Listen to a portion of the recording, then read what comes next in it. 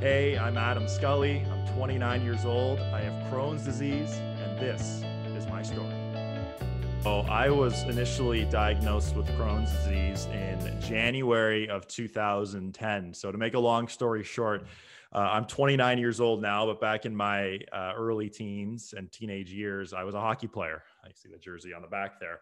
Uh, drafted by the Erie Otters, the Ontario Hockey League, back in May of 2008 um, as we record this, actually almost 13 years to the day now, which is kind of funny to think. But um, so I was there very briefly, and uh, I had some injury issues. I had a, a, concussion, and this was in the day and age before uh, for hockey talk, where concussion you didn't really talk about concussions as much. It was sort of it was old school, where you just go out and keep playing. And and from this, I had a I had a bad concussion, and and I had some weird side effects afterwards, sort of post post concussion syndrome. And from this, my love for the game sort of went away, and I was burnt out uh, as a 17 year old at the time. And in August of 2009, I stopped my hockey career, and this relates directly to Crohn's because as I was contemplating my decision to stop playing hockey, I was having a lot of stomach issues.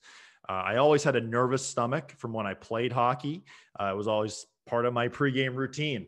Um, and I thought that was just nervous stomach. That was just, I cared. I, I, I was nervous. I wanted to play well. So my, my stomach wasn't great.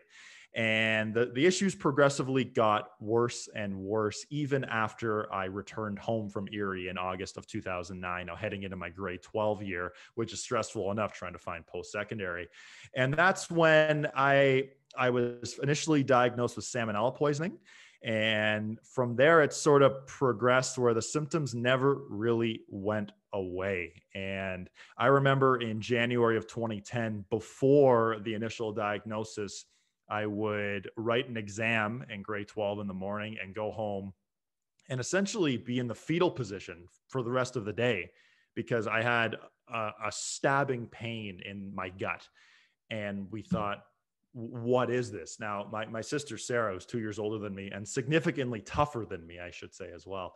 Uh, she has ulcerative colitis and she's been in remission, knock on wood, for the last seven years, I believe. So I, have seen her suffer, and the symptoms were quite similar. So we had kind of a feeling, and then and when I had the um, colonoscopy, that's when we knew when my doctor, Dr. Steinhardt, knew that it was Crohn's disease, and um, that's how I was initially diagnosed. That's January of 2010, and we're in what May of 2021 now. So it's 11 plus years down the road. There have certainly been struggles. There have certainly been moments where my health hasn't been great, but I've been fortunate now, again, knock on wood, that I've been on a treatment called Remicade for the last nine plus years now, and that has changed my life and that has allowed me to become a regular young adult. That was that was always the goal.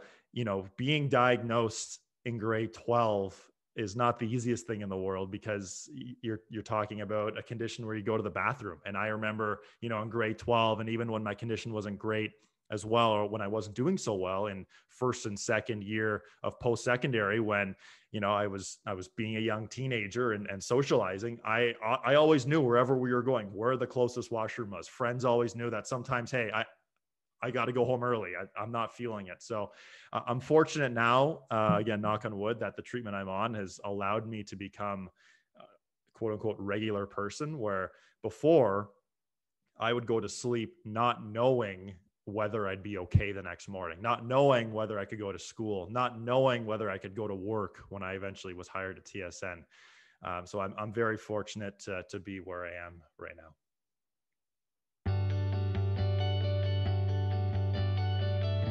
the major challenges of Crohn's disease, inflammatory bowel disease, ulcerative colitis is that some things are taken away from you.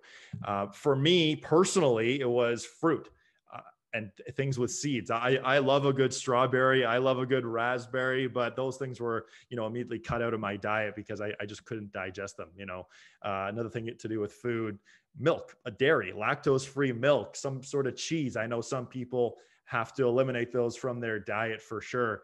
Uh, those are, you know, the elimination diet sort of thing. That's one of the major uh, challenges with Crohn's and uh, inflammatory bowel disease.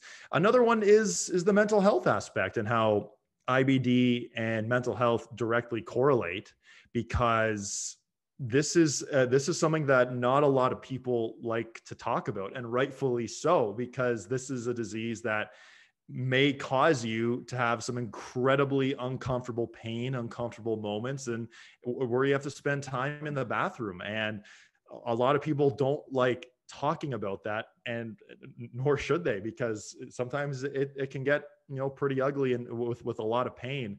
Uh, and, and that's where the mental health aspect sort of correlates together in the sense that if, if someone's quote unquote down in the dumps because they're they're not feeling well uh, mentally they're they're not there they can't go to work that's where your your mental health isn't isn't going to be great. So i mean for me personally as pe- people who know me very well know that I, i'm always a glass half full kind of guy and and um, when times were tough i would always do my best anyway to find a way to keep my head up because you're not going to feel great every day of the world, but you've got to do the best of with what you got that day. So uh, those are two of the the major um, challenges with uh, inflammatory bowel disease.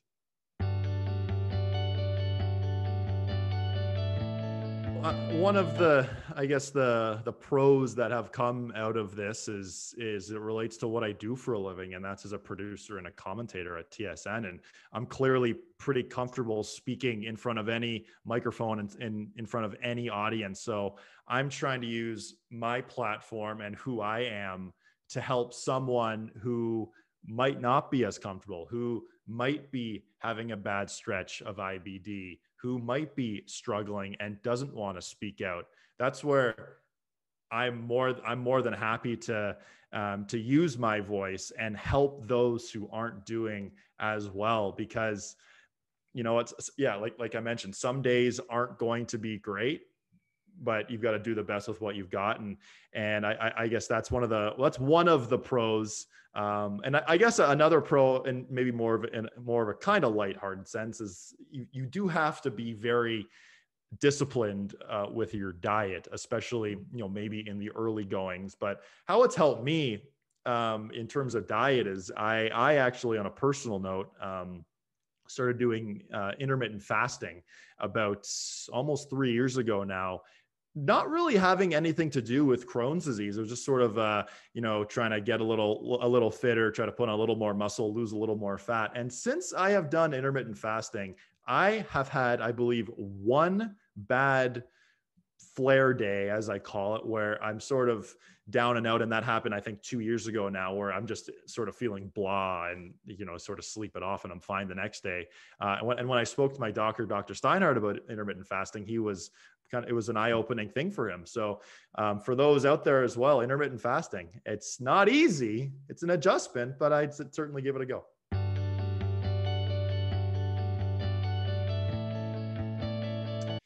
oh it's it's uh, it means everything to me really um, it's you know as we all know there is no cure to Crohn's disease, inflammatory bowel disease, ulcerative colitis. And every dollar that we raise will go towards trying to find a cure one day. You know, as I sit here, I'm 29 years old. If there's a cure in my lifetime, that would be awesome. But down the road, if if I am to ever have a child, the chances of of them having this disease are is obviously a little higher. So hopefully, it's something where you know in in future little scullies down down the road that there's some sort of cure available uh, then um, on a personal note my sister sarah and i this is our 17th year uh, raising money for the gutsy walk i'm very proud to say as well that we have raised over $295000 in the 16 plus years, now 17th year we're doing this. Uh, the road to 300K, as I've said, we're so fortunate and so lucky to have so many friends and so many generous family members who have helped us out down the road because they want to see us get healthy and we want to see you know the community of everyone who has this disease to you know get back on the right foot and hopefully at some point help any way we can in finding a cure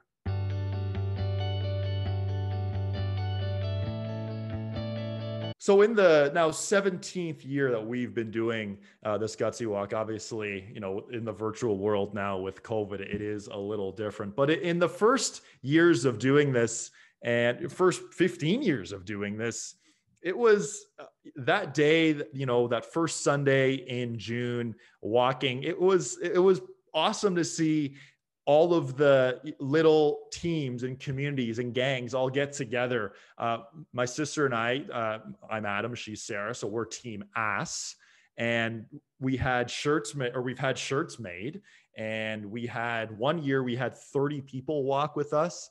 Uh, last time around in 2019, we had there were children, there were dogs. We, we had a whole. Uh, it was at least I think it was 42 people I want to say back then. But it's awesome to see you know not only Team Ass representing, but all these other teams that are you know showing up and, and getting creative and and and trying to you know make it a little lighthearted at times because you know like like I mentioned, some days this disease sucks. It's not great. It's something you don't want to talk about. Uh, it's it's not the most fun thing in the world, but you know it's great to see everyone sort of come together in this sort of way. Hopefully, at some point we're back walking this in 3D and we get to you know see everyone walk around, walk the five kilometers and and uh, enjoy the sunshine and and together help find a cure for IBD. Together as one, we walk to stop Crohn's and colitis.